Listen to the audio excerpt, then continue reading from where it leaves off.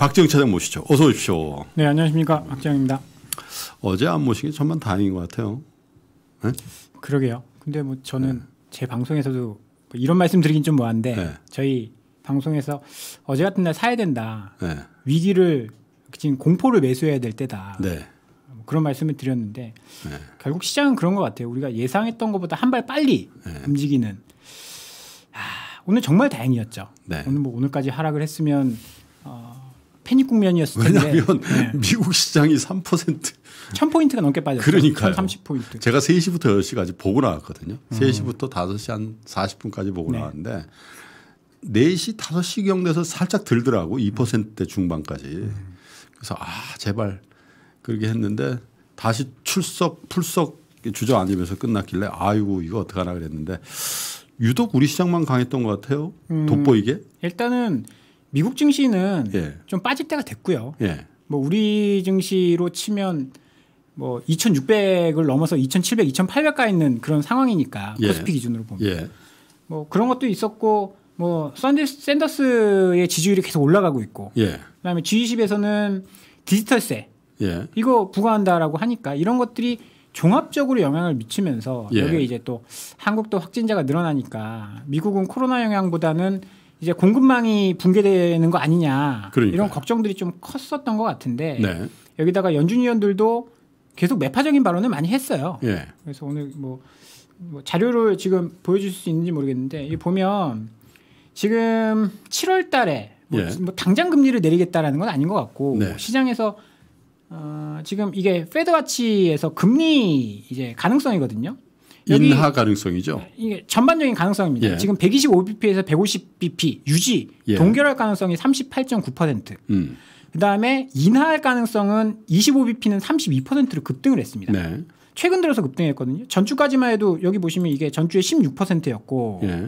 한달 전까지만 해도 25bp 인하 가능성은 6.7%에 불과했어요. 음. 근데 최근 들어서 뭐 코로나다 뭐다 이러면서 뭐 채권 금리도 급락을 했고요. 그렇죠. 30년물도 급락을 했고 10년물도 급락을 했고 장단기 금리 역전됐고 그러다 보니까 그런 우려들이 다 같이 한꺼번에 어제 쏟아졌다. 예. 뭐 그런 거 있잖아요. 이제 연인끼리 막 이렇게 서로 이제 사귈 때 네.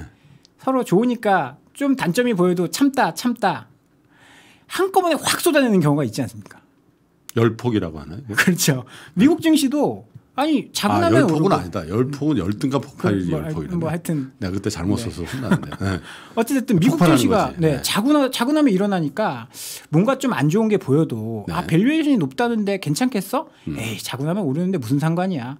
뭐뭐 뭐 디지털 디지털세 지금 유럽에서 물린다는데 기술주 아 뭐 구글 이런 거 괜찮겠어? 에이 내일 또 오를 건데 무슨 상관이야? 계속 그렇게 참고 참고 참고 있다가 네. 한 방에 그냥 빵 터진 거죠. 네. 그래서 물론 이제 뭐 미국이 계속 내린다면 뭐 우리 증시가 멀쩡하겠습니까? 그럴 가능성은 뭐 크지 않다라고 보는데 미국도 어느 정도 안정이 되겠죠. 우리나라 이렇게 반등되는 거 보고 오늘 아시아 증시 크게 안 떨어졌다라고 보면 거기에 또 우려감들도 많이 감소하지 않겠습니까? 네. 그래서 뭐 아주 크게 아 이것 때문에 전 세계에 공포가 온다? 이건 좀 네. 과장된 것이 아닌가. 음. 뭐 그래서 오늘 반등이 나온 것 같고요. 지수부터 네, 말씀드리면 그렇죠. 코스피보다는 코스닥이 좀 돋보였던 시장이었던 네, 것 같아요. 코스닥이 좀 더 올랐습니다. 어제 좀 더 많이 빠졌는데 예. 오르긴 좀 더 올랐고요. 코스피는 24포인트 상승해서 1.1% 상승을 했습니다. 1100선 회복을 했고요. 코스닥은 17포인트 상승을 해서 656포인트까지 상승을 네. 했습니다. 근데 조금 걱정되는 건 외국인이 여전히 팔고 있다는 겁니다. 글쎄요. 어제도 뭐 사실 외국인이 7천억 예, 그 중에서도 뭐 삼성전자를 압도적으로 그냥 셀업을 했는데 그걸 대체로 우리 개인 투자자 여러분들이 받으셨단 말이에요. 그쵸. 그래서 제가 사실 아, 오늘 아침에 야, 이 삼성전자 많이 빠지면 어떡하지 그런 생각했는데 아우 그래도 좋은 결과 나왔어요. 네. 오늘도 지금 외국인이 또 7,600억 팔았거든요. 예. 어제에 이어서 또 팔았는데 어제 같은 경우에는 passive 자금까지 지금 매도가 나온 걸로 지금 보이는데 음, 지수 추종 그렇죠. 지수를 추종한 자금까지 매도가 나온 걸로 보이는데 일단은 뭐뭐 뭐 개인들이 선방을 하면서 막아줬고요. 네. 이 부분은 지금 좀 더 지켜봐야 될 것 같습니다. 예. 어제 같은 경우에는 환율이 급등하면서 환율 급등하면 외국인은 좋을 게 없거든요. 그렇죠. 그런 것들 때문에 매도했다라고 하는데 오늘은 이제 환율은 지금 10원 가까이 9원 90전이나 하락을 했음에도 불구하고 이렇게까지 하락을 크게 했는데도 외국인이 그렇게 많이 팔았어요? 그렇죠. 그리고 아직까지는 좀 위험하다라고 보는 거죠. 네. 지금 외국인 이제 환율이라든지 외국인 수급은 예. 이제 확진자 수랑 조금 연동돼서 움직이는 것 같아요. 네. 최근에는 원래는 이제 뭐, 뭐 확진자 수랑 비교해 볼 데이터는 없었는데 예. 최근에 이제 좀 그런 움직임이 보이니까 좀 더 시간을 두고 해석을 해봐야 될 것 같고요. 음, 뭐 오늘 상승 종목 수도 많았었고 환율도 9원 90전이나 하락을 하는 네. 뭐 긍정적인 어, 시장이었습니다. 음. 어제 미국에 비해서 선반영 됐다라는 것이 조금 어, 긍정적이었던 것 같아요. 하긴 우리는 뭐 금요일 날 제법 많이 빠졌고 그 그렇죠. 월요일 많이 맞습니다. 빠졌으니까 네. 미국 낙폭을 어느 정도 키 맞추기를 한 상태에서 이제 새로 시작한다라는 개념이 있지 네, 않았나. 네, 그렇게, 그렇게 사실 삼성전자의 조업 중단 글쎄 이게 반도체 부분까지 갈 수도 있지 않냐 뭐 그런 그렇죠. 그런 걱정도 있었겠죠. 왜냐하면 네. 스마트폰 구미 공장에서 확진자가 나서 일부 하이닉스에 또 뭐 그런 네. 부분이 있었으니까 네. 이제 구미 공장은 3일 정도 가동을 중단했었거든요. 예. 24일부터 다시 재가동됐고 네. 하이닉스도 지금 교육동이긴 하지만 예. 이제 뭐 확진자가 나와서 문제가 생겼 생겼기 때문에 그런 것들에 대한 우려가 없는 건 아닌 것 같습니다. 음. 그리고 미국 증시가 지금 많이 빠진 게 IT 쪽이거든요. 그렇죠. IT sector. 예. 이유는 이제 아, 중국의 이제 그 영향을 많이 받는 가장 많이 받는 데가 IT 섹터예요. 예. 거기에다가 아시아 쪽에 대만이라든지 예. 한국 같은 뭐 TSMC나 삼성전자가 있지 않습니까? 예. supply 체인이 망가지. 그렇죠. 그렇죠. 예. 이게 그런 쪽으로 확산 이제 확진자가 확산되다 보니까 예. 거기에 대한 공포심이 좀 있는 것 음, 같습니다. 음, 그렇군요. 우리 2월 소비 심리도 뭐 예상을 했습니다마는 급락했군요. 2월 소비자 심리 지수가요. 96.9 7.3포인트가 하락을 하면서 이건 좀 잘 나가다가 급락한 거죠? 그렇죠. 1월 달에는 104.2로 그러니까요. 어, 3.7포인트가 개선이 됐습니다. 예. 개선이 됐었는데 2월 달은 다시 급락을 했습니다. 예. 메르스 사태 이후 최대 낙폭을 보였는데요. 예. 전반적으로 내용들을 한번 좀 살펴보면 요것도 화면에 좀 보여주실 수 있으면 전반적으로 안 좋아진 게첫 음. 번째로 요 부분 가계 수입 전망이 네. 1월 달에는 1.3 포인트 플러스였는데 예. 이게 1.7 포인트 마이너스로 3 포인트나 7.3% 중에 거의 한 절반 가까이를 무슨 뭐 뭐가 있었어요? 이렇게 급전직하 떨어지는 이유가? 지금 지금 보시면 장사 안 되지 않습니까? 가게 아. 자영업자들 뭐 이건 계속 제가 외식하라 외식하라 말씀을 드리지만 코로나 코로나 19 다 반영된 거라 이거죠. 그렇죠. 음. 이게 심리가 반영이 된 거죠. 오늘 음. 저도 여의도에서 점심 먹는데 네. 정말 저는 그 가게가 사람이 없는 거는 제가 여기 한 7년 8년 만에 처음 본 것 같아요. 네. 그러니까 항상 줄 섰어야 되는데 테이블이 한 세 테이블 차 있더라고요. 어딜까 궁금하네. 아, 그 뼈다귀 해장 집인데 굉장히 네. 맛있어요. 네. 근데 손님이 없더라고요. 네. 지금 하긴 오늘도 우리 직원들하고 같이 시켜 먹었어요. 음. 네. 도시락 시켜 먹었어요. 안 나가시더라고요. 음. 그래서 그런 것들이 반영이 된 거고 네. 그러다 보니까 소비 지출 전망도 전월엔 0.4% 플러스였는데 네. 마이너스 1.5 포인트 음. 반전이 됐고. 예. 뭐 소비가 안 되니까 뭐 경기가 조, 좋을 리 없고 향후 경기 판단 이런 것들이 전반적으로 안 좋아지면서 예. 뭐 생활 형편 전망 이런 것들도 지금 1.8 포인트나 하락했거든요. 그렇군요. 소비가 안 좋아지고 수입도 안 좋아지고 형편도 안 좋아지고 여기다가 마스크 가격은 장당 5천 원이니까 음. 4인 가족 기준으로 10장만 사도 20만 원 아니겠습니까? 계산이 또 그렇게 되나요? 그렇죠. 4인 가족이 20만 원이에요. 4인 가족이 10장이 네, 40장. 10장. 그렇죠. 네. 한 달치를 사면 하루에 한 개씩 쓴다고 하면 60만 원, 50만 원, 60만 원이 그냥 한 달에 날라가는 거예요. 돈 없으면 그 마스크도 못 쓰네. 그렇죠. 그래서 이런 것들이 좀 반영이 됐다라고 보고요. 예. 여기서 중요한 건 이제 기대 인플레이션율. 예. 이게 전월에 플러스 0.1포인트였는데 네. 0.1%였는데 지금 마이너스 0.1% 포인트로 하락했습니다. 예. 내일 모레 한국은행에 금통위가 있거든요. 네. 지금은 동결이 우세해서 아, 불과 일주일 전까지만 하더라도 예. 동결이 아, 많이 우세했고 예. 뭐 해봐야 뭐 이제 4월 정도에나 한번 내릴까 이런 예. 생각이었는데 지금 한국은행은 셈법이 매우 복잡해졌을 가능성이 높습니다. 할 것 같아요, 안 할 것 같아요. 이거 사실 정프로하고 내게 하는 건데 아... 박 차장 어, 어, 뭐 걸어보세요. 제가 작년에 정프로님한테 한번 졌잖아요. 네. 그래서 완전 뭐 사실 이건 뭐 맞출 수 있는 그런 네. 50-50인데 뭐. 그렇죠. 네. 저는요. 네. 전 동결입니다. 동결? 네.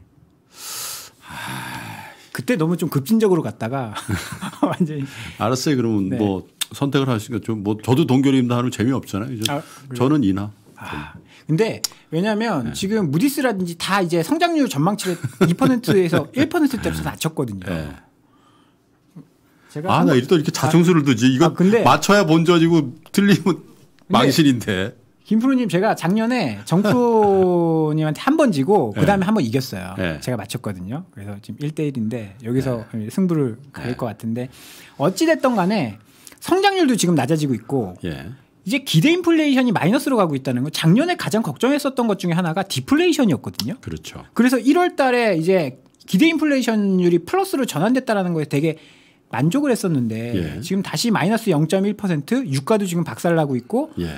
뭐 지금 뭐 금리 뭐 주택 가격 이런 거 좀 잡겠다고 어, 빈대 잡으려다 초과 상간 태울 수가 있거든요. 그렇죠. 금리를 낮출 가능성도 저는 굉장히 높아졌다라고 봅니다. 지금 예. 그 전문가들의 의견은 아주 그러니까 20명 중에 2명 정도 이나 예. 그리고 나머지는 다 동결. 이었는데 어. 네, 아니, 이었는데 네. 지금은 한 반반 정도 되죠. 아 왜냐하면 이게 초 이번 주 초에 아마 조사를 했을 거예요. 예. 이번 주 초에 월요일 날. 폴. 그렇죠. 예. 어. 그 제가 보는 연합인포맥스 폴에 예. 아, 월요일 날 조사를 했기 때문에 지금 이렇게 급 급격하게 반영 올라가는 거는 반영이 안 됐다라고 봐야죠. 음. 이주호 총재가 아마 그런데 그렇게 급진적인 분은 아니라서 저는 네. 동결을 할 가능성이 높은데 음. 동결한다고 해도 그 다음에 여지를 줄 겁니다. 음. 이것 때문에 다음번에는 인하에 대한 기대감을 심어 주면서 안정을 좀 시킬 가능성이 높다라는 거죠. 네. 근데 뭐 금리를 낮춰서 정말 이게 경기에 부양에 효과가 있는지에 대해서는 구구한 다른 의견이 있습니다만은 제가 왜 그 인하에 대한 예상을 하냐면 물론 이제 가장 큰 거는 박정희 차장이 먼저 동결을 외쳤기 때문에 아또 이렇게 이날, 빠져나가 이 나라 이 나라고 얘기를 했습니다만은 그것과 더불어서 사실 이날 했으면 좋겠다는 생각을 갖고 있기 때문에 그래요. 사실은 에, 이번 주 들어 계속 말씀드립니다만은 지금은 뭐 좌고우면할 때가 아니고 에, 경기의 모멘텀을 재정적인 측면에서도 또 통화 정책이나 측면에서도 일부 부작용이 있다 하더라도 에, 같은 스탠스를 취해 주는 게 지금 중앙은행이 해야 될 일 아닌가라는 그런 생각이 일부 있어서 그런 말씀을 드린 거고요. 자, 반등이냐 아니면 그냥 이 기술적인 반등이냐 아니면 쌍바닥이냐 뭐 이런 논의를 우리 윤지호 센터장과 해보겠습니다만은 뭘 확인하면 돼요 이제부터는? 일단은 두 가지로 확인을 해야 되죠. 예. 확진자 수. 예. 확진자 수가 고점 일 때가 지수의 저점일 가능성이 높다라고 보는데 네. 2월 초에 이제 미국 중국 증시가 반등하게 된 계기도 그거였어요. 확진자 음. 수가 이제 하루 약간 통계 수치를 바꾸면서 급격하게 확 늘어난 적이 있었는데 그거 제외하고는 확진자 수가 점점 하락을 했었거든요. 네. 그걸 기점으로 중국 증시가 반등을 했었고 예. 우리도 마찬가지가 될 가능성이 높습니다. 그런데 확진자 수를 어떻게 예측을 하냐? 예. 중국은 크게 확 번지면서 15일 걸렸거든요. 예. 확진자 수가 고점까지 가는데 네. 우리도 그러면 어떻게 봐야 되냐? 지금 31번 환자가 예배 참여 참석한 게 9일 16일이었습니다. 예. 지금 임상적으로 한 7일에서 8일 정도면 이제 발현이 된다라고 하니까 네. 16일에서 한 8일 정도 지나면 23일 예. 이게 피크가 될 가능성이 높고 지금 어, 명단을 구했다라고 해요. 예. 신천지 쪽 명단을 예. 구했기 때문에 거기에 집중적으로 이제 뭐 사실 거기에 집중적으로 하면 음. 전 국민 열 나는 전 국민 대상으로 그 검사를 하는 것보다 빠르게 늘어날 겁니다. 그렇겠죠. 그럼 숫자가 그 우리나라가 또 이게 빨리, 빨리, 결과 비교적 빨리 나오는 나라라면서요? 어, 세계적으로 그렇다라고 네. 하더라고요. 네. 세계 의료진이 깜짝 놀라더라고요. 네. 그래서 그런 것들이 이제 빨리빨리 진행이 되면 더 이상 확진자 수가 늘지 않으면 글로벌적으로도 약간 안심을 할 거예요. 음. 그러면 외국계 자금 빠져나가는 게 좀 줄어들고 우리도 안심을 시장에서는 많이 알고 있거든요. 확진자 수 고점이 음. 지수의 저점이다. 그러면 이제 스마트한 머니들은 먼저 좀 들어올 가능성이 있다라고 봅니다. 또 하나는 이제 연준의 스탠스를 한번 확인을 해봐야 돼요. 네. 여기서 연준이 계속 매파적으로 나온다. 2018년 10월 기억하실지 모르겠습니다. 파월 의장이 중립금리에 도달했다. 그렇죠. 이말 한마디에 미국 증시고 전 세계 증시고 완전 다 박살이 났거든요. 그렇죠. 만약에 여기서 미국이 기대하고 있는 것들은 그런 거예요. 미국 경기가 좋다. 만약에 문제가 생기면 연준이 도와주고 통화 정책 위기가 생기면 어벤져스가 출동해서 진화를 해줄 거다. 예. 이런 기대감이 있는데 어, 최근에 연준은 그렇지 않았거든요. 예. 계속 어, 지금 금리가 너무 낮으면 다음에 정책 우리가 통화 정책 사용할 때 좀 안 좋기 때문에 너무 미리 내리는 건 안 좋다. 음. 미국 경기는 좋다. 코로나 19가 경제에 미친 영향이 크지 않다. 이런 얘기를 계속 반복해 왔었거든요. 그렇죠. 그런데 계속 그런 스탠스다라고 한다면 위험할 수 있습니다. 오늘 새벽에 클라리다 부의장 연설이 네. 있거든요. 어, 뭐 사실 그 제롬 파월 의장이 물론 이제 뭐 의장이긴 합니다만은 경제학자 출신도 아니고 전공이 아니기 때문에 사실 연준 내 발언의 어떤 무게감이랄까 어, 클라리다 만만치 않은 분이죠. 그렇죠. 네. 네. 그래서 어, 오늘 좀 중요할 것 같은데 사실 연준이 가장 중요시하는 게 그 경제와 언론과 이 그 소통이거든요. 네. 자기 혼자 갔을 때 경기가 어떻게 된다는 것을 너무나 잘 알고 있기 때문에 괜히 함부로 입 놀려서 시장을 박살내는 일은 우를 범하지는 않을 것 같아요. 그렇죠. 어, 그래서 뭐 2018년 교훈도 있고 예. 그래서 큰 문제를 일으킬 것 같지는 않은데 예. 리스크 요인으로는 남아 있다. 연준이 뭐 시장을 일부러 어렵게야 만들겠어요, 그죠? 그럴 이유는 시장이 에, 빠지는 국면에서 어느 정도 스탠스로 시장을 도울 것인가 아니면 에, 그냥 좀 놔둘 것인가 그런 우려가 있겠죠. 시장을 막 주의 흔들 정도의 에, 매파적인 스탠스가 에, 연준을 지배하고 있을 것 같지는 않고 특별히 어제 같은 장을 보면 연준 의원들도 언젠가부터 금융위기 이후부터 새 가슴들이 돼 가지고 약간 네. 시장에 네. 끌려다니고 있죠. 그러니까 하루 약한 음. 거를 못 견뎌하는 그런 모습들을 물론 이제 그게 결국은 이제 사상 최고치를 계속 경신하는 미국 시장의 기반이 되고는 있습니다만은 어쨌든 연준의 스탠스도 좀 면밀히 지켜봐야 된다 그런 말씀이시네요. 끝나고 어디로 갑니까? 저는 사무실로 다시 돌아가요. 왜? 일이 있어서요. 아. 모 회사는 다 재택근무를 하는데 빨리 짐 싸들고 가십시오. 52시간 그 해당되는 분 아닙니까? 어 해당됩니다. 네. 그런데 뭐 그 정도까지 야근을 하진 아, 않았어요. 상무가 그렇게 좋아요? 네? 상무 되려고.